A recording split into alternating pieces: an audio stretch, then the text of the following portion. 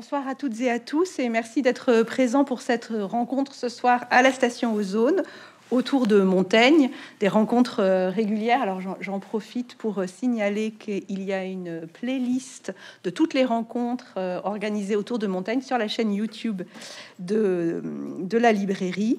Et ce soir, la librairie reçoit Philippe Dezan, qui est un habitué, qui était venu, Philippe, tu étais venu l'année dernière présenter ton livre sur la modernité de Montaigne. Mais la rencontre de ce soir est un peu particulière, puisque Philippe Dezan vient présenter un roman Hein, que vous avez là, qui s'intitule donc Une ténébreuse affaire et qui porte sur la relation Montaigne-la Boétie. Montaigne-la Boétie, une ténébreuse affaire. Alors, je ne prendrai pas la responsabilité de dévoiler l'intrigue, mais euh, évidemment, hein, pour ceux qui le connaissent, euh, cette publication est surprenante parce que Philippe Dezan est, d'abord un universitaire, alors certes à la retraite, mais il est resté fondamentalement universitaire, un chercheur infatigable, grand spécialiste de Montaigne, mais aussi grand collectionneur de portraits, de livres, euh, qui a à la fois publié de nombreuses monographies, dont une biographie politique, et aussi beaucoup d'ouvrages collectifs consacrés à Montaigne. Et donc, évidemment, ce soir, cette surprise du basculement dans la fiction. Et euh, évidemment, hein, euh, ça sera la, première de mes questions avant qu'on entre dans le livre et qu'on dise ou pas ce qui s'y passe.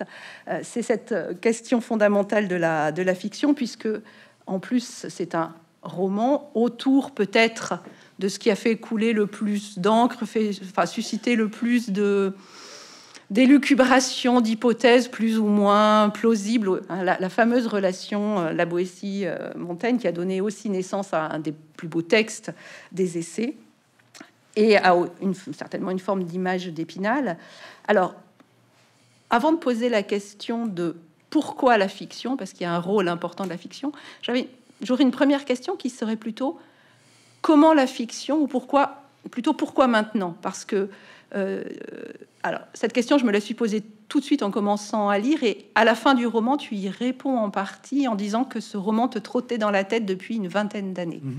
Et donc, je me suis demandé si euh, le fait de ne l'écrire que maintenant, maintenant que tu es à la retraite, euh, c'était lié euh, à, une volonté de séparer l'activité académique finalement et puis une autre approche de Montaigne, parce que c'est pas simplement une fiction, c'est mmh. aussi une autre approche de Montaigne.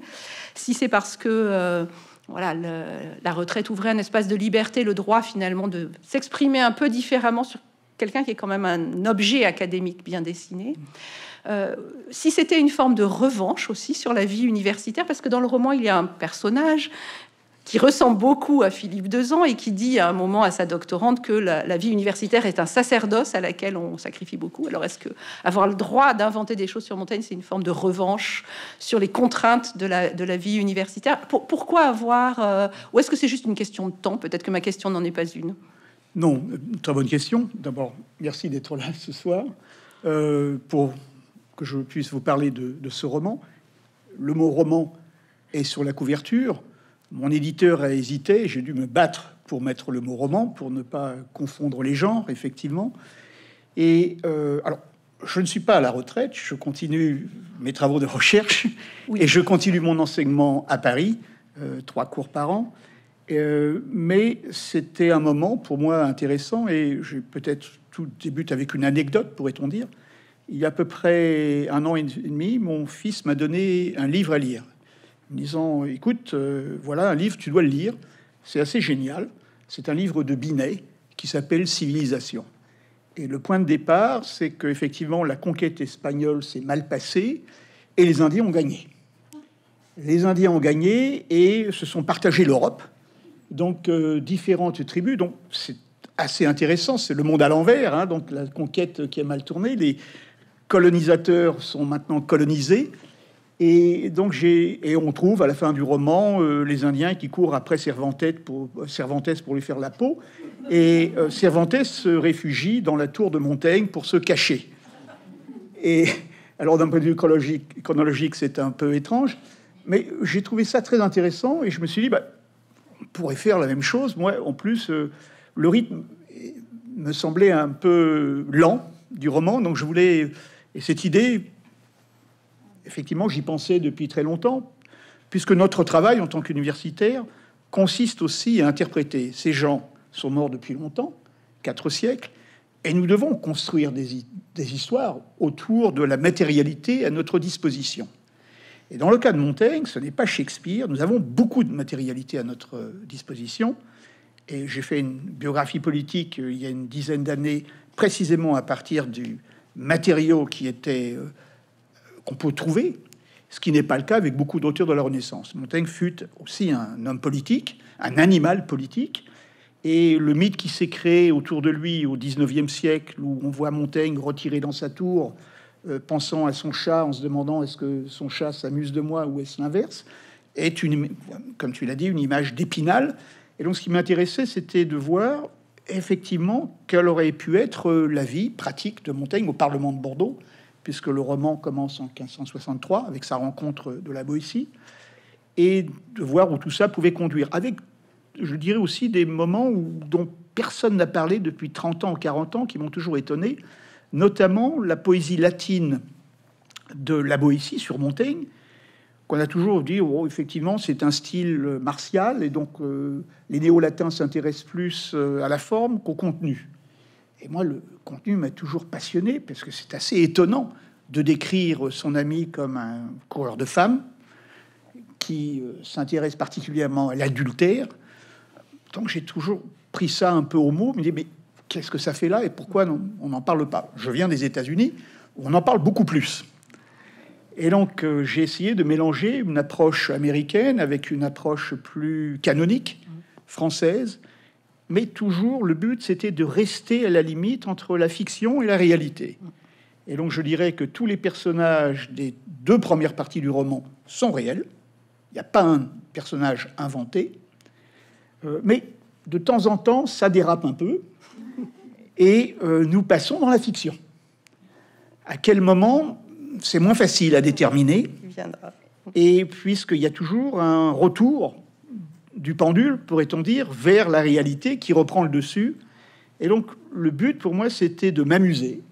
C'est une forme de distraction, de divertissement montagnien, en jouant sur euh, des événements concrets, une recherche euh, que j'espère est bonne, du voyage de Montaigne en Italie notamment, de temps en temps en bougeant un peu les choses, enfin en faisant intervenir l'interprétation, pour voir comment mettre ces objets en rapport les uns aux autres et de voir ce qui aurait pu se passer. Et Montaigne, il y a une très belle phrase de Montaigne que j'utilise en exergue, le plus important n'est pas de savoir ce qui s'est passé, mais ce qui aurait pu se passer. Et donc voilà, donc c'est une construction avec un titre très balsacien imposé par l'éditeur, je vais le dire, euh, sur une ténébreuse affaire, puisque c'est un roman de Balzac, un roman policier, le seul roman policier écrit par Balzac. Et donc l'idée, c'était ça, de, faire, de transformer ça en, cold case sur quatre siècles, euh, avec une partie, troisième partie, où là, effectivement, Montaigne est maintenant décédé depuis plus de quatre siècles. Une jeune euh, étudiante américaine prépare une thèse avec son professeur et il découvre euh, des objets qui ont été importants dans la vie de Montaigne et essaye de reconstruire l'histoire de ces objets et se confronte euh, à des cultures universitaires différentes entre la France et les États-Unis. Oui, là, alors ce n'est pas un roman à clé, je tiens tout de suite à le dire. La seule clé, c'est moi-même. Oui, tu l'as bien entendu. C'est transparent. Euh, J'ai toujours eu trois passions dans ma vie. donc, et je me suis dit, si j'écris un roman un jour, il faut que je tienne compte de ces trois passions parce que c'est les trois choses que je connais le mieux. Montaigne, bien entendu, et la vie de Montaigne, la biographie de Montaigne, les livres anciens et la matérialité du livre, et enfin le cyclisme, qui est une passion euh, importante. Et donc voilà, c'est les trois choses qui me fascinent depuis 40 euh, ans. Et donc je voulais les mettre ensemble et essayer de voir comment on peut effectivement euh, raconter une histoire sous forme de la fiction, fondé dans la réalité pour effectivement me divertir. Voilà. Alors, le roman est divertissant, mais il n'est pas que divertissant. Et quand je parlais de la retraite, je pensais au poste de Chicago, mais pas à l'arrêt de l'activité. Mhm. Et justement, une des choses que je trouve intéressante, au-delà du plaisir qu'on prend à, lire le roman, parce qu'on prend vraiment beaucoup de plaisir à lire ce roman, surtout quand on, on, connaît un peu Montaigne, mais aussi, je pense, quand on ne le connaît pas, c'est que d'une certaine façon, il c'est pour ça que je parlais aussi d'espace de liberté, il m'a semblé que c'était une manière de continuer la recherche par d'autres moyens, qu'on, ne s'autorise peut-être pas quand on est tout à fait dans une position académique. Et en particulier, j'ai été frappée tu, dis à un moment que l'invention, dans la, bref préface, que l'invention romanesque nous permet de dévoiler les secrets, mais qu'elle nous permet aussi même de les juger. Et l'impression que l'on a, c'est que la fiction, paradoxalement, permet d'atteindre une forme de vérité qui est peut-être plus, peut-être pas plus juste, mais plus humaine. Euh, d'une part, et puis d'autre part, on parlait de l'image d'Épinal, euh, aussi de montrer, euh, mais on, reparlera de l'interprétation après, à quel point finalement euh, l'image que l'on a des grands auteurs, je mets mhm. des guillemets, sont aussi des formes de, fiction. Donc je voyais d'une certaine façon un, double prolongement de la recherche qui, aurait, qui serait une manière et qui prolonge des travaux que tu as menés ailleurs, par exemple dans la biographie politique, d'essayer d'approcher Montaigne par son côté humain, quitte, les deux sont liés, à déconstruire un peu le mythe du grand homme. Alors, le grand modèle au départ, pour moi, c'est Umberto Eco, Le nom de la rose. On peut lire ce roman de deux façons. Il y a toute la philosophie du Moyen Âge qui est présente, du latin à n'en plus finir, on peut s'y casser les dents, et puis on peut lire aussi une intrigue policière. Et donc moi j'avais deux publics, et je les remercie à la fin de mon livre, deux grands spécialistes de Montaigne, Jean Balsamo et Georges Hoffman, qui ont donné l'aval pour ce roman d'un point de vue scientifique, mais aussi quatre ou cinq lecteurs qui ne connaissent absolument rien à Montaigne et qui ont lu ce roman uniquement pour l'intrigue, pour voir si on pouvait effectivement avancer dans, ce, dans ce roman. Pour revenir à l'idée d'une fiction, je, suis, je vis aux États-Unis depuis 40 ans, le pays des fake news, qui passe pour autant pour de la vérité. Et il y a une très belle phrase chez Montaigne. Montaigne, ça m'a toujours marqué depuis très longtemps. Montaigne définit la vérité de cette façon. La vérité n'est pas ce qui est, mais ce qui se persuade à autrui. Et nous sommes en plein là-dedans. Donc voilà. Donc pour moi, la vérité, comme pour Montaigne, est malléable. Et il suffit de très peu de choses. Alors, il est toujours ancré dans une forme de matérialité. Je vous renvoie aux déclarations dernières euh, de la campagne électorale américaine où les chats et les chiens disparaissent dans un petit village euh, de l'Ohio, euh, bien entendu, mais il y a une toute petite part de vérité qui est en fait, oui, il y a 25, 20 000 Haïtiens qui sont là, mais alors on peut déraper à partir de ce moment-là. Euh, une dame a appelé la police parce que son chat avait disparu. On l'a retrouvé le lendemain matin, comme les chats disparaissent, et à partir de ce moment-là, voilà.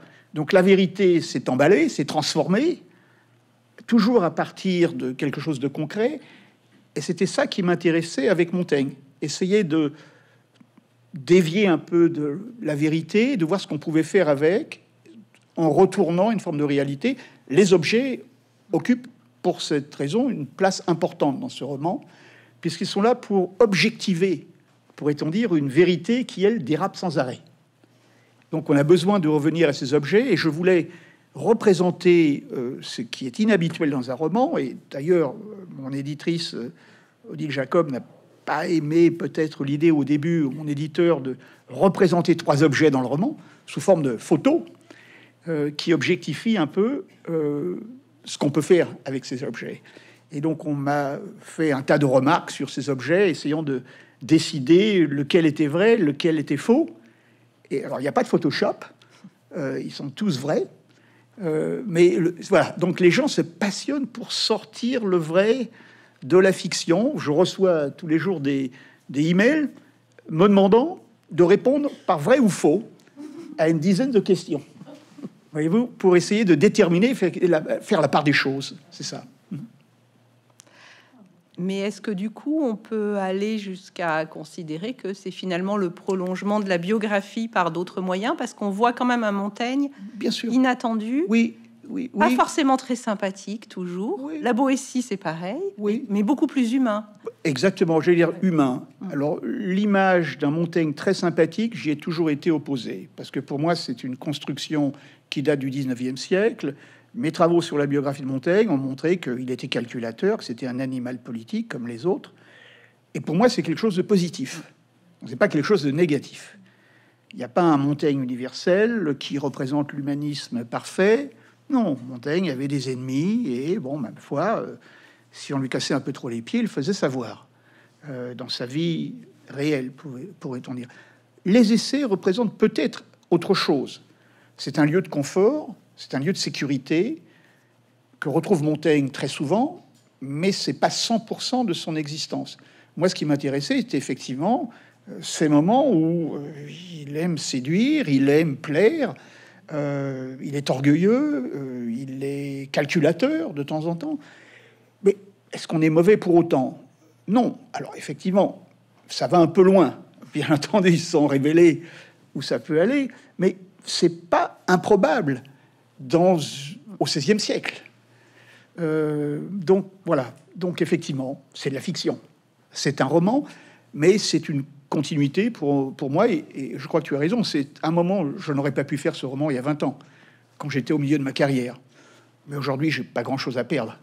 Donc, euh, je, peux me, je peux me laisser aller et je peux euh, jouir de cette fiction et trompeuse, parfois, bien entendu, mais je l'assume totalement. Le but, c'est de faire réfléchir et plutôt qu'autre chose. Alors, un Montaigne qui m'est plus sympathique parce qu'il est plus humain. Mm et il a des passions qu'il ne peut pas contrôler, des maladies même, on pourrait-on dire, pourrait-on dire. Il y a une maladie décrite dans, dans ce livre, euh, la silogomanie. Hein, la silogomanie, c'est effectivement l'accumulation d'objets dont on ne peut plus se séparer. Euh, les gens accumulent euh, chez eux. Il y a même une émission télévisée aux États-Unis qui est hebdomadaire, qui montre des cas extravagants de gens qui vivent euh, dans l'encombrement le plus parfait. Ils sont obligés de passer dans un tunnel d'objets dans leur maison, euh, et c'est une vraie maladie qui est reconnue. Et donc cette silogomanie où on voit Montaigne s'intéressant à des objets, on sait qu'il avait pas mal d'objets dans sa tour. Tout ça a disparu bien entendu, mais le cabinet de curiosité qui était là, on savait qu'il avait un hamac, on savait qu'il avait une canne euh, de guerre, et on connaît une, 8 ou neuf objets qui ont été recensés. On sait qu'il avait aussi des, euh, des cailloux, enfin voilà, des montagnes euh, un peu euh, qui s'intéressent aux objets. Un des aspects aussi que permet la fiction et que ne permettrait peut-être pas un travail académique, c'est de, le, de le mettre en scène. Alors on retrouve exactement la, la la définition de ce qui est possible ou probable, enfin quelque chose de très aristotélicien finalement sur une fiction qui permet d'éprouver les hommes, mhm. parce qu'on on voit aussi un Montaigne euh, très pragmatique. Ça aussi c'est une des choses euh, en, rupture peut-être avec l'image plus... Alors pour moi, Montaigne est pragmatique en politique.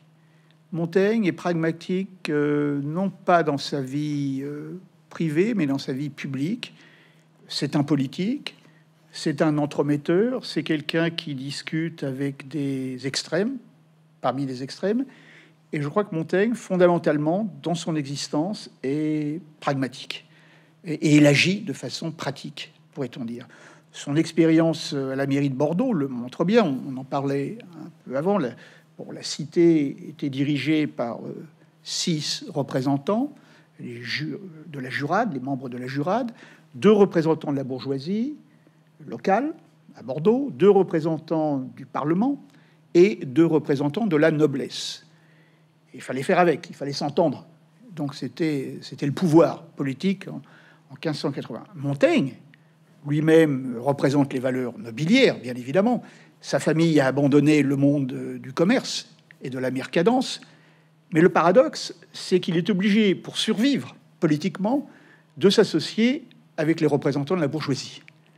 Et donc ça m'a toujours fasciné, puisque vous avez dans les essais un discours totalement euh, non économique, en dehors, et un de mes premiers livres était sur l'économie euh, des essais, euh, et le discours économique dans les essais, et Montaigne est, en train toujours de se d'établir une distance avec ce monde-là, le monde du commerce, bien entendu. Et par contre, lors de sa réélection, notamment en 1583, il est obligé de s'associer puisqu'il a le Parlement à dos, parce qu'il est parti en claquant la porte euh, dix ans plus tôt, 10-12 ans plus tôt, et la noblesse euh, se retourne contre lui. Donc, il fait avec les gens avec qui il peut travailler, pourrait-on dire. Ça montre bien cette forme de pragmatisme en politique, que je pense que l'on retrouve dans sa vie publique, absolument. Et alors justement, enfin voilà, le fait de le mettre en scène dans sa vie publique permet de montrer des aspects qu'on ne voit pas dans les essais. Et ça emmène à, une autre question autour de la fiction. Alors moi, je suis littéraire de formation et quelque chose qui m'a et je me suis toujours intéressée à l'aspect fictionnel et, un peu mensonger, enfin en tout cas construit des essais. Et euh, j'ai été aussi très intéressée dans les les, les fonds, enfin comment dire, ce roman en apparence est léger et divertissant, il se lit bien, mais on sent voilà 40 ans de spécialiste de Montaigne derrière et le, travail euh, sur lequel il est euh, fondé. Et euh, tu as une réflexion aussi sur le fait, non seulement de la valeur de la fiction pour Montaigne, mais sur le, un moment, tu fais un parallèle entre la, manière dont finalement il se façonne dans les essais et la mhm. manière dont toi tu, tu inventes. Alors, est-ce qu'écrire ce roman, c'est aussi une autre manière de lire les essais finalement par rapport au pragmatisme mis en scène, eux-mêmes comme une fiction? C'est-à-dire qu'on arrive à une sorte de paradoxe, c'est que la fiction que tu as écrite dit une forme de vérité qui renvoie les essais à un univers euh, fictionnel, en tout cas fantasmé, où il est le Montaigne idéal. Je dirais que c'est une autre façade de Montaigne. Euh, Montaigne se façonne. Euh, l'expression est une expression anglaise, hein, self-fashioning, un façonnage du moi et ce façonnage du moi devient la matière du livre des essais. Montaigne écrit son livre sur 20 années, et il serait absurde de penser que nous pensons la même chose à un moment précis, et pensons de nouveau la même chose 20 ans plus tard.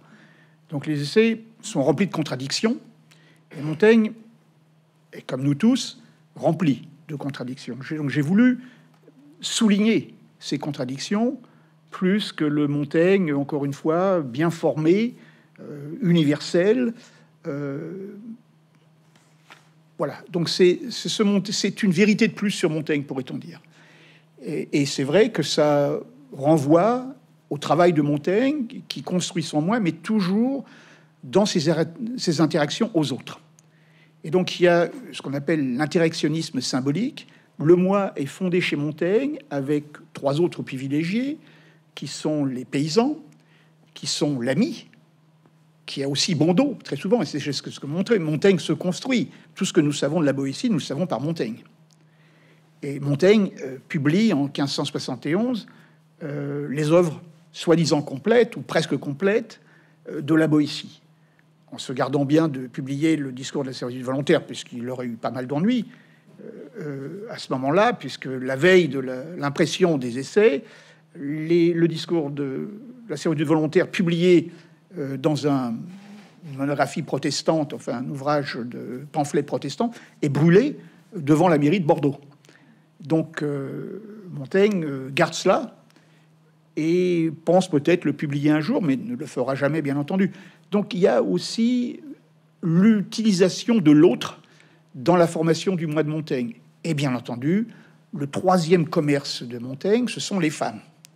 Et donc les femmes occupent une place très importante dans la vie de Montaigne et dans les essais. Et c'est ça qui me fait avancer effectivement euh, dans ce qui devient le problème, la Boétie, pourrait-on dire. Euh, voilà, donc euh, l'importance des femmes, le côté séducteur rapporté par la Boétie dans sa poésie latine, tout ça mis ensemble crée une sorte de poudre dont on n'a plus qu'à allumer la mèche. Et, c'était ça le but du roman, pourrait-on dire. Donc d'offrir une autre vérité assez probable, mais comme toute interprétation de Montaigne, c'est fondé sur une forme de probabilité. Mais encore une fois, c'est un roman, c'est la fiction, et ça c'est clair, je le dis au début et à la fin, à, plusieurs reprises, euh, il faut pas perdre ça de vue, je crois. Oui, mais l'entremêlement très très étroit de beaucoup de données parfaitement vraies. Bien sûr et du petit grain de sable qui fait déraper a, cet intérêt que, au-delà du divertissement, justement, on est amené à se poser des questions. Et, et par exemple, euh, dans la vision d'un Montaigne pragmatique, mais aussi ambitieux, carriériste, l'écriture devient euh, une sorte de choix, c'est-à-dire qu'à un moment, tu lui fais décider d'embrasser la carrière d'homme de lettres parce qu'il se dit là j'aurai un espace de liberté, là je dépendrai plus des relations de clientèle. Et c'est en fait le en gros on a l'impression d'un Montaigne parce que on le voit aujourd'hui quand même, enfin, quand même une sorte de génie euh, mmh. littéraire. Et là, on le voit calculer froidement et se dire, enfin, en gros, j'ai un créneau. Oui, voilà. Oui, il y a une place à prendre. Exactement. Une place à prendre, euh, bon, puisqu'il y a le mot sur la page de titre, il y a non seulement Montaigne, mais il y a la Boétie aussi. Donc la Boétie occupe une place très importante, effectivement, dans ce, parce qu'en fait, c'est la fameuse définition de l'amitié qui est typiquement française. Le monde entier, au 19e siècle, j'ai une deuxième partie qui est la réception étrange de Montaigne par les docteurs Armingot, docteur Payen, euh, Galli, ainsi de suite, euh, qui disent que la plus belle définition de l'amitié est française. Ce n'est pas une définition, j'ai toujours eu du mal à la comprendre. C'est parce que c'était lui, parce que c'était moi. Soi-disant la plus belle définition. ça ne veut rien dire. Donc, euh, voilà. Donc, je me suis toujours amusé. Pourquoi a-t-on cette définition inventée par Montaigne, mais aurait-elle pu exister chez la Boétie et recombiner de façon problématique pour en faire une définition. Et nous savons de façon matérielle que la page, le feuillet sur lequel cette euh, définition apparaît est en deux temps, puisqu'elle est créée en, à deux moments distincts, à partir de deux encres différentes. Non seulement cela, mais on sait aussi que parce que c'était moi, a été écrit avant parce que c'était lui.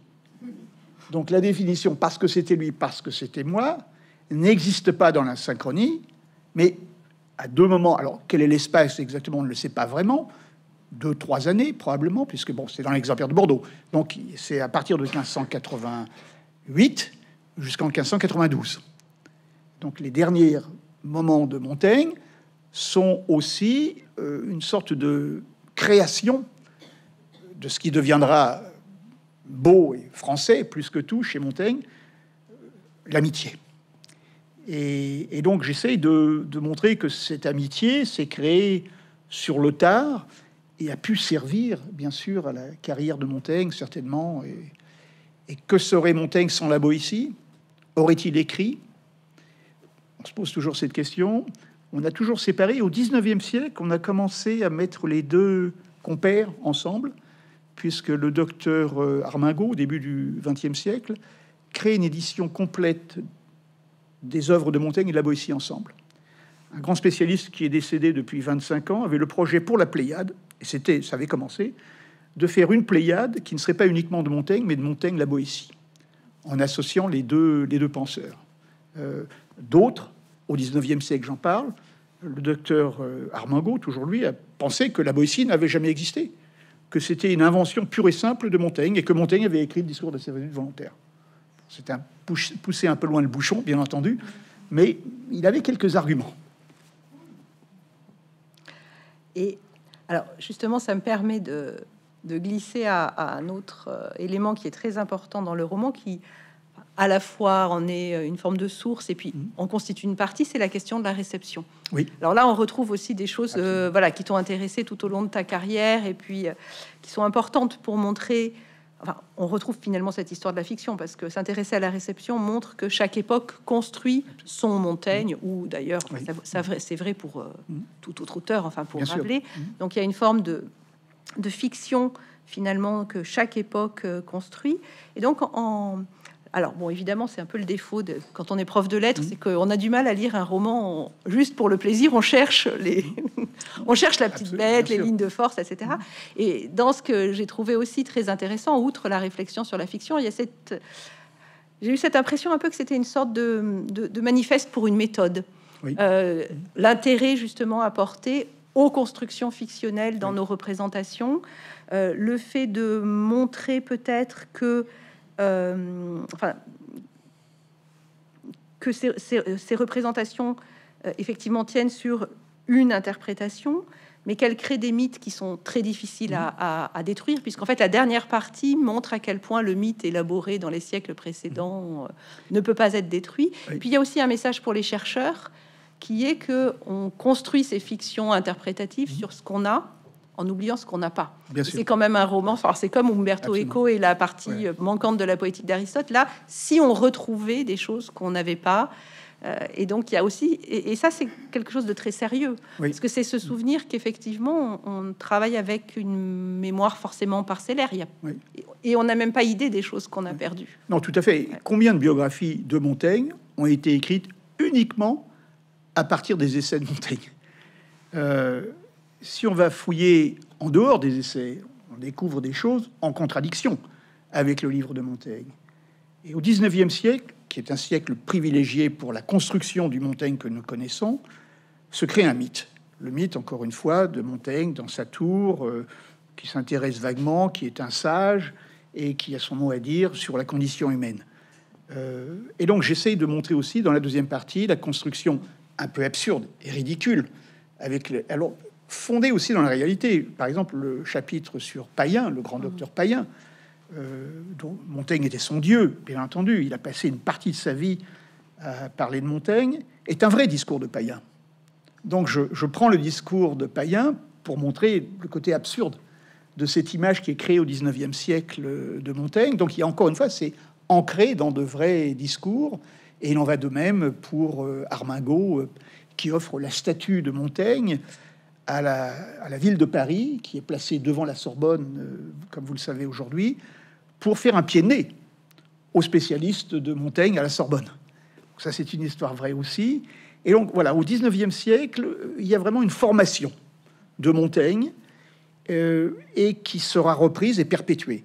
Donc, pour moi, la remise en question de cette image d'Épinal ne pouvait se faire qu'aux États-Unis par une jeune étudiante euh, formée euh, à l'époque MeToo, du mouvement MeToo et qui questionne euh, ce qui lui semble absurde et qui vit au 21e siècle et qui n'est pas encombré de l'histoire. Alors c'est un grand défaut aux États-Unis, bien entendu, mais ça peut être une qualité aussi, puisque ça permet de questionner des choses qu'on questionne beaucoup moins dans l'université française sur Montaigne, où il y a un grand respect et effectivement, on ne peut pas toucher aux idoles euh, de la façon dont on pourrait le faire aux États-Unis. Alors, il y a aussi des problèmes de sexualité dans ce roman, hein, bien sûr, le côté euh, queer, gay. Euh, une chose m'a toujours étonné, c'est que, bon, il y a vraiment des tensions sexuelles dans le rapport entre Montaigne et la Boétie. Je ne révèle pas grand-chose. J'essaie d'être le plus ambigu possible, bien entendu, mais c'est là, malgré tout, et dans la recherche anglo-saxonne, durant les 20 dernières années, trois livres fondamentaux sont, sont parus, euh, bien argumentés. Alors, je ne sais pas, encore une fois, je n'étais pas là, on ne vivait pas à cette époque-là. Euh, l'homosexualité avait d'ailleurs une connotation totalement différente qu'elle a aujourd'hui. Euh, et, mais c'est une possibilité, une piste de plus à explorer, mais qu'on ne peut surtout pas explorer de France, bien entendu. Et donc voilà, c'est les contradictions. Donc le roman, dans la troisième partie, devient un roman académique, dans la tradition de David Lodge, qui est un roman fantastique qui s'appelle Le Petit Monde, Petit Monde universitaire, avec des clics euh, qui se créent des problèmes les uns entre les autres, un monde fermé sur lui-même, en mettant euh, en comparaison le monde universitaire français, le monde universitaire américain. Donc je ne pouvais avoir qu'une héroïne, peut-être du roman, euh, qui s'appelle Diane Osborne, et qui est étudiante euh, qui débarque à Paris pour faire une co-tutelle. Euh, et euh, c'est elle qui va voir des choses qui sont à la fois dans le texte des essais, mais aussi grâce à son professeur qui a mis la main sur un objet qui permet d'enquêter. et c'est le début de l'enquête qui prendra plusieurs années avant de s'imposer, mais fondé sur ce, sur ce cold case qui dure quatre siècles et demi.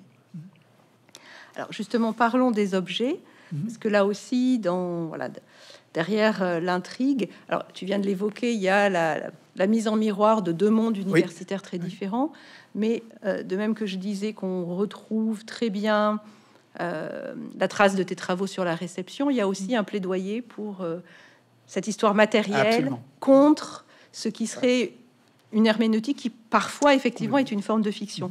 Et alors, je pose plusieurs mmh. questions en une parce que là encore, ce que, ce que j'ai trouvé euh, très très intéressant dans le, dans le roman, c'est une forme euh, toujours d'effet d'écho entre euh, ce que tu trouves, enfin en tout cas ce que je crois que tu as mmh. trouvé dans Montaigne, la façon dont tu réfléchis à partir de ça à une méthode et la façon dont tu l'utilises pour écrire le roman.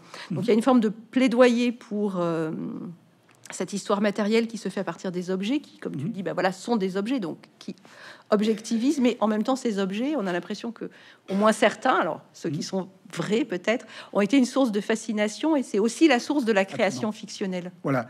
Et voilà, donc le, professeur, euh, dans une toute petite université assez médiocre, classée 1747e aux États-Unis, vous avez un, un hit parade des universités les universités américaines sont classées dans le US News and World Report de la première euh, à la 2237e, je crois. Lui, il enseigne dans une petite université de l'Iowa, classée 1800 et des poussières, euh, ancien marxiste français et donc euh, matérialiste, et il croit à la vérité des objets. surtout dans un monde universitaire aussi bien américain, peut-être plus américain, où l'interprétation peut aller un peu loin. Et la théorie fascine, a toujours fasciné l'Amérique. Nous avons très bien exporté nos littérateurs, enfin les théoriciens de la littérature de tout temps, entre Roland Barthes, euh, Derrida et, autres, euh, se sont toujours bien vendus, ont toujours été invités dans les universités américaines pour faire de la, ce que j'appelle la haute théorie, mais pas du tout ancré dans la matérialité du texte. Voilà. Et donc je voulais faire ressortir cet aspect, effectivement, que la matérialité du texte était aussi très importante. Euh, combien de fois ai-je vu euh, à l'université de Chicago, je me rappelle d'un de mes premiers séminaires donnés dans les années 1980, où nous avons la chance à l'université de Chicago d'avoir les huit premières éditions des essais. Donc le premier cours de mon premier séminaire consistait à emmener les étudiants à manipuler, comme on peut le faire à Bordeaux à la Myriadec, bien entendu. Nous avons aussi cette matérialité, et l'exemplaire de Bordeaux, évidemment, est, ici. Euh, être capable de voir à quoi, à quoi ressemblait un livre au XVIe siècle. Et je me rappelle d'une étudiante assez brillante qui avait écrit un papier, un devoir euh, pour le trimestre, fascinant sur euh, l'organisation des paragraphes chez Montaigne. Sauf que si elle était allée voir la bibliothèque, elle se rendait compte qu'il n'y a pas de paragraphe à la Renaissance. Mais c'était un travail génial mais pas du tout ancré dans la réalité, l'objectivité d'un livre. Et donc il y a une partie très importante ici qui est toujours un renvoi à la matérialité, qui occupe une place très importante puisque l'exemplaire de Bordeaux est, euh, central dans cette histoire. Et euh, ces, objets eux-mêmes, en particulier par exemple l'ex-voto de Lorette, euh, c'est aussi des supports à fantasmes, enfin ou en tout cas à, construction. Oui, alors là c'est c'est un objet. je vous dirai pas s'il est vrai, vous irez vérifier vous-même sur Internet. On peut tout vérifier. Hein. Donc, euh, le problème quand on vérifie sur Internet, on, a, trouve une première information qui laisse penser que tout est vrai par rapport à cet objet. Mais tout n'est peut-être pas vrai par rapport à cet objet. Donc il faut aller chercher un peu plus loin encore. Mais l'ex-voto a vraiment existé. Montaigne en parle dans son journal. On a toujours cru qu'il avait brûlé. Il a peut-être brûlé. Donc encore une c'est un des mystères de Montaigne, avec comme le journal de du voyage de Montaigne qui a disparu. C'est un des grands mystères. Et donc il va présenter un ex voto où il fait représenter, et là on le sait, sa fille et son épouse. Sauf que nous avons, j'ai fait un livre il y a très longtemps sur l'iconographie des essais en euh, les portraits de Montaigne, ça s'appelait, où nous connaissons une représentation en noir et blanc. L'ex voto a disparu. Une représentation en noir et blanc qui a été faite euh, au tournant du siècle, entre le 19e et le 20e siècle. Et depuis 50 ans, 60 ans, il a disparu. Et on ne sait pas ce qui s'est passé. Et donc, nous avons cette ex-voto photographiée assez, de façon assez mystérieuse, qui représente effectivement un Montaigne à genoux, avec sa fille à côté de lui, et son épouse distante, cachée derrière un pilier. Ça m'a toujours perturbé cette image. Pourquoi son épouse est-elle si loin? Est-ce son épouse? Est-ce que ça pourrait être quelqu'un d'autre? Voilà. Donc il y a toujours, encore une fois, dans la matérialité du tableau, suffisamment de possibilités pour faire déraper une réalité que nous ne connaissons pas. Donc on est dans l'interprétation de cette femme cachée derrière un pilier de l'Église. Euh, et on peut imaginer ce qu'on veut à partir de ce moment-là. Voilà, donc c'était ça, toujours. Donc, même les objets eux-mêmes peuvent euh, donner interprétation. Je pense euh, au fauteuil de Montaigne, qui a existé, et ce qui m'a toujours fasciné dans ce fauteuil, et c'est pour ça que je tenais absolument à les reproduire dans le roman, que le lecteur puisse vérifier qu'il y a un problème avec ces objets, a des accoudoirs qui sont mais de cette largeur. C'est très étrange, surtout pour un fauteuil de travail.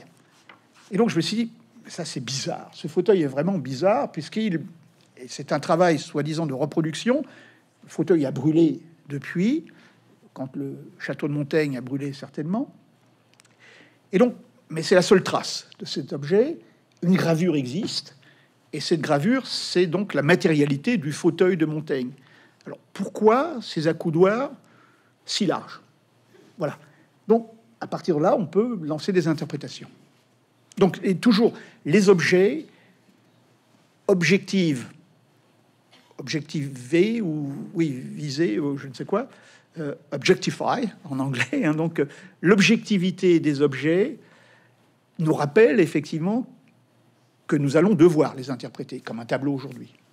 Exactement. Et alors du coup, c'est une sorte pas de paradoxe, mais plutôt de clin d'œil de l'universitaire, parce que il y a une sorte de voilà de défense de cette histoire matérielle contre des universitaires français ou américains qui auraient tendance à bâtir des, des interprétations un peu folles. Mais en fait, le roman nous oblige à faire la même chose. Parce que tout le monde, et enfin, ceux qui l'ont lu, je suis sûr, l'ont fait, et ceux qui ne l'ont pas encore lu vont le faire. Moi, je l'ai fait. Il y avait des objets, le fauteuil, je savais, mais il y en a d'autres, je suis allé voir, comme tout le monde, sur Internet pour essayer de trouver ce qui était faux, ce qui était vrai. Donc, c'est un peu euh, comme les romans dont on est le héros qu'on écrivait pour les enfants. On est transformé en enquêteur à mhm. notre tour, mais on est aussi transformé en, en, herméneute parce que on est obligé d'interpréter. On cherche effectivement où est la frontière de la fiction et de la vérité, mais et quand on croit la trouver, évidemment la question qui vient est pourquoi ce choix Tu disais ça, ça n'est pas un roman à clé, mais comme on te reconnaît toi de manière mhm. assez transparente, moi évidemment je me suis demandé qui y avait derrière tous les autres. Et donc voilà, on est obligé d'interpréter en fait. Alors j'ai pas voulu faire un roman à clé, mais la clé c'est moi, mm. effectivement. Donc ça c'est facile à deviner. Mais tout le reste, non, c'est pas du tout. On m'a posé aussi des questions. Qui est Diane Osborne Qui est le professeur de la Sorbonne euh, Alors, bien entendu, ça c'est un montage absolument euh, fictionnel, bien entendu. Mais euh, encore une fois, ces objets, ils sont là pour donner une sorte de, de rythme au roman. Moi, ce qui m'intéresse, c'est ce que j'appelle le modèle Colombo. On sait tout ce qui s'est passé dans les trois premières minutes. Le crime a été commis et l'intrigue commence après pour essayer de démontrer ce qui a pu se passer. Et donc on est dans l'interprétation. Alors l'avantage du lecteur, c'est que l'acteur, le lecteur très rapidement est au courant. Pas de façon trop directe, mais il est au courant. C'est la démonstration qui m'intéresse. Après, alors c'est pas du tout un roman à l'anglaise où il y a un bouleversement dans les trois dernières pages, et euh, ou alors à la Gata Christie euh, avec il y a dix possibilités et il y a une enquête de chaque possibilité et aucune n'est la bonne. donc ça, c'est la méthode anglaise, pourrait-on dire, du, euh, du, roman policier. Euh, moi, encore une fois, je suis plutôt dans euh, la chronologie. J'ai fait très attention à respecter une chronologie. Il y a toujours le jour, la date et le lieu qui sont respectés. Et c'est de façon chronologique qu'on on va de l'avant assez, assez rapidement. Mais le lecteur et c'était ça, participe à l'enquête. Et le but, c'est de participer, comme mon éditeur me le disait chez Odile Jacob, avec l'ordinateur à côté de soi, et on va chercher de temps en temps. Et, donc, je, moi, c'est ça qui m'intéressait, une sorte de participation du lecteur à la découverte, effectivement, de ce qui s'est pas exactement, et surtout comment on va pouvoir le démontrer. Oui, et, et du coup, ce qui est assez paradoxal, c'est que tout en critiquant la tendance à, une interprétation excessive, tu y encourages le malheureux lecteur. Et on se, alors moi, je me suis posé des questions. Y compris sur des toutes petites choses. Je donne un exemple, et ça, c'est quelque chose qui m'a fait rire, parce que tu, tu, te mets en scène, mais pas à Chicago, Non. dans un rôle beaucoup plus modeste. Bon, alors, je connaissais la, la passion de Philippe pour le vélo, en particulier en altitude, à Boulder, Colorado, donc qui veut dire rocher, et le héros du roman est professeur à Des Plaines. Voilà. Alors, je me suis demandé si c'était une vision de 40 ans Alors, de carrière universitaire, non. comme une morne plaine en attendant de pouvoir franchir l'école et avoir le maillot à poids. Tu as très bien lu. J'adore la montagne. Et j'étais dans une autre vie coureur cycliste. Et j'étais bon, j'étais bon grimpeur, comme on dit aujourd'hui sur le Tour de France. Et mon premier poste universitaire était à Chicago, qui est ce qu'on appelle la plaine du Midwest. Alors, je voulais pas que ce soit à Chicago, donc j'ai fait Iowa. L'Iowa, c'est un peu la Beauce française, euh, mais 20 fois plus grand. Et, et donc, c'est un endroit pas du tout pour coureurs cyclistes. Euh, et donc, et effectivement, il y a une ville qui s'appelle qui s'appelle Des Plaines, mais pas dans le même état. hein, mais j'ai toujours trouvé cette ville qui, ce nom de ville qui veut tout dire, d'après moi, qui est terrible. Des Plaines. Et d'ailleurs, c'est en français, hein, Oui, bien sûr. Euh, c'est aux antipodes de ce que j'imagine euh, être un endroit intéressant. Donc, effectivement, oui, oui. Donc, il y a, y a toujours des parallèles, euh, très souvent, entre euh, ces endroits très américains. Ça décrit aussi. Bon, l'Iowa, c'est une sorte de caricature de l'Amérique. C'est l'Amérique profonde. Et donc, j'aimais bien cela, avoir ces- ce Français qui aboutit aux États-Unis, qui ne connaît rien au baseball, rien au football américain, et qui se retrouve dans une ville au milieu de nulle part, assez médiocre, avec des étudiants qui sont pas très bons. Mais de temps en temps, il en repère des perles rares et il les envoie dans les grandes universités. Voilà. Et alors justement, une des choses aussi que j'ai trouvé intéressante, tu viens de dire que tu étais la clé du roman. Oui, Ah, oui enfin, je, pour moi, je voulais que ce soit suffisamment transparent. Voilà. Il y a des choses que je ne peux pas cacher. C'est un spécialiste de Montaigne. Euh, il adore les livres anciens. J'ai fait un livre sur la Bibliotheca de Zaniana. Euh, je suis collectionneur de livres anciens. Donc voilà, je n'allais pas mentir là-dessus. Voilà. Mais du coup, je me suis demandé dans quelle mesure passer à la fiction avec un roman qui s'assume comme un roman, mais dans lequel tu te, là, tu rappelles ce parallélisme entre l'invention du romancier et Oui. le geste de Montaigne. Dans quelle mesure, euh, je te demandais tout à l'heure si c'était une prolongement de l'auto- de- de l'autobiographie de Montaigne, mais est-ce que c'est aussi une autobiographie fictionnelle Oui, euh, de- de toi-même finalement Oui, assez, assez et du dérisoire. monde universitaire? Voilà, assez, assez décalé. assez décalé euh, parce que bon et puis je me suis dit aussi si j'écris un roman de la fiction il faut euh, il faut faire de la recherche euh, qu'est-ce que je connais bien? Bah, le 16e siècle évidemment donc l'ambiance l'atmosphère du 16e siècle ça fait 40 ans que je travaille dessus Euh, ma formation était de sociologue donc je connais bien la société française du 16e siècle et l'environnement intellectuel j'ai enseigné l'histoire des idées pendant très longtemps donc je suis dit il y a trois choses que je connais très bien Euh, Montaigne et le 16e siècle les livres anciens et l'aspect matériel du livre, donc il faut que ça fasse partie à un moment de l'intrigue, et puis le cyclisme. Alors, d'une autre façon, bien entendu. Et, donc, il fallait que les trois soient représentés pour que je me fasse plaisir.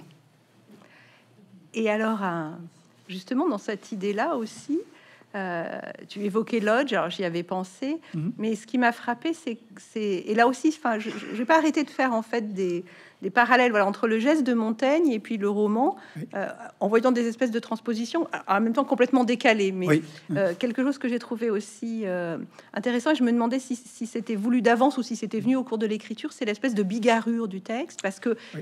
ça emprunte au roman académique type Lodge, un tout petit monde, mais enfin c'est aussi un roman policier, c'est aussi un roman historique.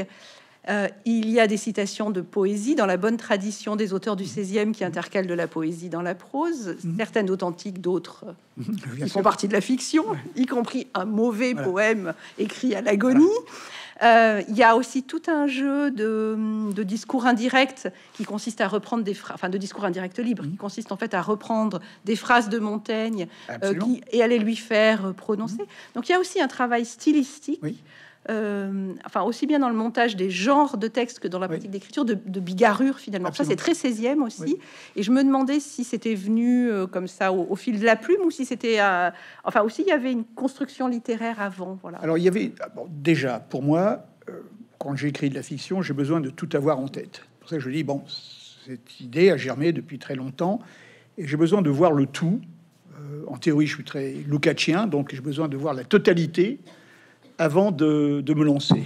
Et après, j'écris en fonction de, c'est pas de façon chronologique, mais en fonction de l'idée que j'ai de façon générale. Euh, pour les citations de Montaigne, je voulais trouver les moins connues, mais qui sont malgré tout de Montaigne, sur le corps des femmes notamment, sur sa progéniture. Donc on trouve chez Montaigne des choses incroyables qui ne sont généralement pas citées. Donc je voulais pas donner les citations les plus connues de Montaigne, ça c'était vraiment... Euh, mais euh, quand Montaigne parle, très souvent, c'est aussi fondé sur une grosse part de vérité, de réalité, de discours. Alors, un peu déformé, mais quand même, l'ensemble est toujours là. Donc voilà, je, je, montrais un autre Montaigne à partir de ce qu'il a pu dire lui-même dans ses essais et dans d'autres dans d'autres textes, notamment sur cette fascination qu'il a pour, euh, pour transmettre son nom. Parce que n'oubliez pas, Montaigne, a quand même, c'est le premier à s'appeler Montaigne.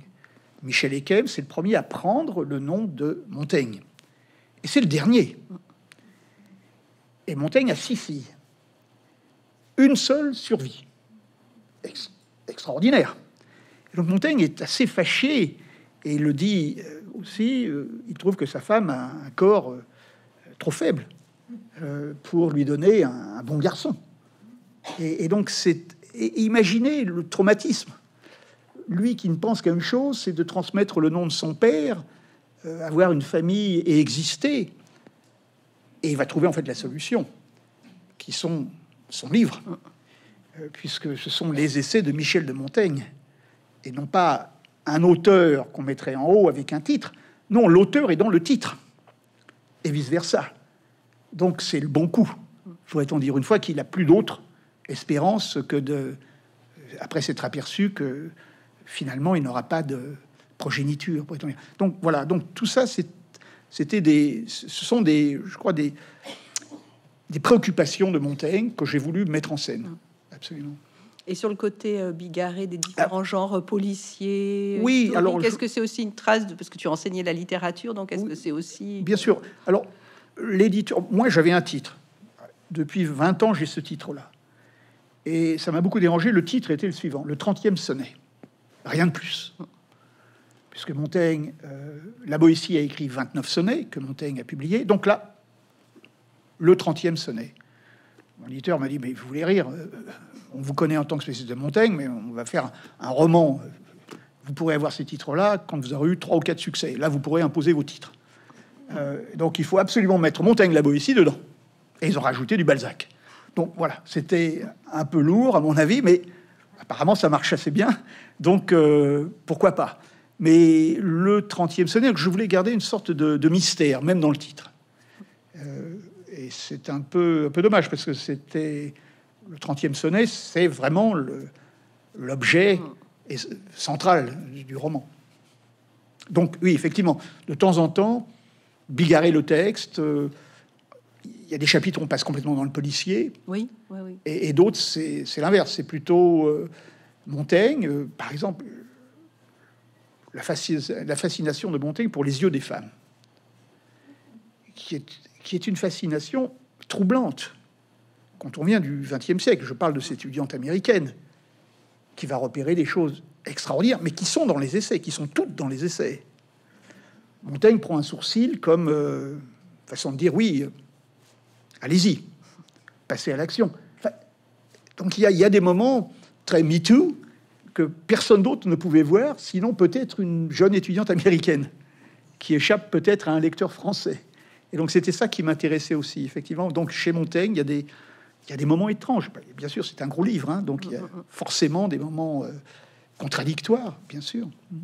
Oui, donc on, voilà, on a l'impression du coup que cette espèce de bigarrure, c'est un moyen de le prendre effectivement par des, biais différents. Bien sûr, oui, oui. Et puis peut-être aussi de, bah, de s'amuser comme il l'a fait lui-même avec des formes diverses. Enfin, il y a une espèce d'effet de, oui, pas miroir, pas ça, mais voilà. Oui, non, Montaigne. On retrouve aussi finalement quelque chose du texte dans le, le, le goût pour le montage. Voilà, enfin, c'est une des choses que. Oui, le, façonnage. Oui, c'est ça, exactement. Je crois que Montaigne se façonne, n'arrête pas de se mm, mm. façonner, et il le fait aussi bien dans sa vie privée, les essais, que dans sa vie publique. Montaigne est très conscient. J'ai des passages où Montaigne ne porte que du noir, alors que les mignons du roi à la cour ne portent que des vêtements de couleur. Donc Montaigne se démarque, joue sur le fait qu'il peut se démarquer des autres. Montaigne n'est pas un homme d'extrême. Il y a l'extrême, les ligueurs d'un côté, et puis les extrêmes protestants de l'autre. Montaigne essaye toujours de se distancer de, la moyenne, pourrait-on dire. Et, c'est ça qui m'a aussi intéressé. Donc, euh, il a besoin de créer une différence. Et les essais sont avant tout l'écriture de la différence. Et donc, cette différence va devenir de plus en plus importante et elle va être repérée par cette jeune américaine qui va voir des choses qu'on n'a jamais vues euh, chez Montaigne. Et du coup, ça permet aussi de faire euh, émerger, alors par instant, mais des thèmes montaigniens qui sont très importants. On voit enfin, la, méditation sur la mort, la fortune, la transmission du nom, le rôle du père, euh, le, la coutume. Il y a plein de, de, thèmes comme ça qui sont évoqués. Euh, de manière tout à fait différente, soit du point de vue de l'histoire qui est racontée, soit effectivement du point de vue de la jeune chercheuse euh, qui, qui, piste. Le, fameux chapitre du repentir. Voilà un chapitre assez extraordinaire que Montaigne vous dit le repentir est une perte de temps. Ce qui a été fait a été fait. Point la ligne. Euh, bah, ça m'a toujours un peu. Bah, j'aime beaucoup cet aspect-là. Hein. donc, mais ça peut faire jaser. D'ailleurs, on a beaucoup essayé de réinterpréter cela. Non, ils ne peuvent vraiment pas dire cela. Montaigne est un bon chrétien, et donc euh, le repentir fait partie de sa religion, euh, la confession. Sauf que non, il n'y a pas de confession, il n'y a jamais de confession. Et c'est cet aspect-là qui me le rend plus sympathique que méchant, mm. je crois. Oui, et, ce que je trouve euh, intéressant, c'est que justement, euh, on n'est pas là pour... Euh, on s'attache aux auteurs sur lesquels on travaille, mais on n'est pas là pour les juger. Et à travers cette enquête d'une jeune américaine qui vit dans un monde qui n'a rien à voir et qui, mm. du coup, voit des choses qu'on ne voit plus, mm. on voit vraiment surgir effectivement un Montaigne humanisé, enfin qui, est complètement descendu de son piédestal, du piédestal sur lequel la critique française en particulier, mais pas que française, l'a placé, qui est extrêmement euh, euh, humanisé, avec beaucoup de travers dont on a l'impression que les essais lui auraient servi, enfin si on repart dans l'idée de la mhm. fiction, c'est que mhm. les essais finalement lui ont servi à mettre en ordre et à contrôler, à masquer un certain nombre de travers. Bien sûr. Et mhm. de même que dans le roman, on voit surgir des thèmes montagnens, voilà, on, a l'impression que dans les essais surgissent de temps en temps des bribes de vérité moins bien contrôlées et la, jeune doctorante voit les... Voilà, et elle n'attrape que ces repère les passages qu'on passe généralement sous silence, puisque ils sont dans une une masse plus importante, une idée générale. Et, mais il y a des petits points, et on se demande si Montaigne n'aurait pas laissé des traces euh, lui-même euh, pour, euh, je sais pas, trouver, cinq siècles plus tard, une jeune américaine du Nouveau Monde, le pays des cannibales, qui serait capable de voir dans son texte des choses qu'on n'a pas réussi à voir en Europe. Et pour en revenir à la question de l'interprétation, voilà, on se demande sans cesse si c'est sortes de petites bulles qui viennent troubler la surface, euh, ont été effectivement laissées intentionnellement comme des, enfin, des comme des cailloux, ou si ce sont des, voilà, des, juste des choses un tout petit peu moins bien, bien contrôlées ou moins lissées, parce que on en revient au travail d'écriture aussi. les strates successives ont d'une certaine façon gommé certaines choses. Oui. Alors là, je ne prends pas parti, mais c'est là. Hein, donc c'est au, c'est au lecteur de prendre mm. parti et de voir est-ce qu'il y a matière à questionner Montaigne est-ce qu'il y a matière à, procès moderne, pourrait-on dire Alors bien sûr, il y a prescription depuis très longtemps, mais pas pour tout le monde. Parce qu'il y a un chapitre où ça prend euh, des proportions gigantesques hein, au niveau de l'État français, qui s'aperçoit qu'on est en train de toucher euh, une des images de la France. Donc, euh, est-ce que ça pourrait faire déraper la bonne machine politique et culturelle de la France qui s'exporte très bien? Donc, oui, voilà, on revient à cette idée que justement, même si c'est un roman et une fiction, cette fiction sert aussi à montrer finalement que la, construction euh, académique et officielle de Montaigne peut être aussi totalement interprétée comme une fiction qu'on essaie mhm. absolument de, ah, préserver. Voilà, donc c'est. D'ailleurs, à un moment, je crois qu'à la fin du texte, tu dis que la, la, recherche universitaire est, d'une certaine façon une fiction. Voilà, c'est la conclusion de l'étudiante américaine, qui va se replier vers les sciences pures et dures, puisqu'en fait, euh, sa démonstration est un échec. hein, donc euh, pas la fin complètement, mais pas tout à fait. Euh, mais elle pense qu'effectivement, elle n'est pas faite. Ça, ne serait pas une bonne lectrice de Montaigne, puisqu'elle voit des choses qu'on n'a pas le droit de voir d'un certain côté, et que c'est problématique qu'on ne touche plus à une image qui s'est figée depuis deux, trois siècles d'un des grands auteurs de la pensée et de la culture française. Donc voilà, donc c'est une sorte de... Elle essaie de déboulonner peut-être Montaigne, mais c'est compliqué. Et voilà. Alors, comme je pense qu'il va y avoir beaucoup de questions dans le public, je pose une dernière question très rapide. Euh, tu disais que ce roman, tu l'avais en tête depuis 20 ans. Alors, il est étroitement lié à tout ce que tu sais sur Montaigne.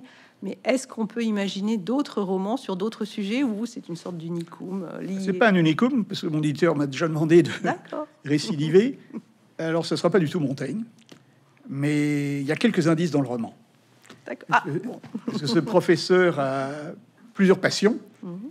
et plusieurs auteurs qu'il a enseigné et qu'il continue d'enseigner euh, à l'université. Il doit faire des cours généraux parce qu'il ne peut pas faire. Il fait quand même un séminaire par an sur Montaigne, euh, mais il enseigne d'autres cours aussi. Donc, donc voilà, c'est tout ce que je peux dire.